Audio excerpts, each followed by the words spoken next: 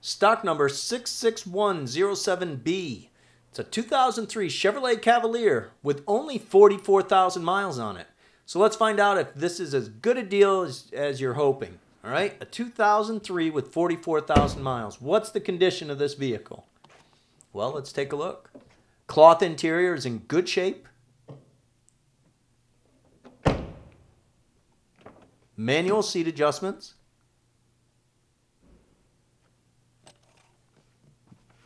Vehicle starts right up.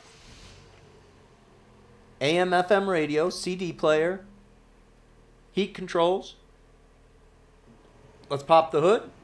It's just a good basic sedan. Steel wheels. 44,000 miles. This car is just broken in.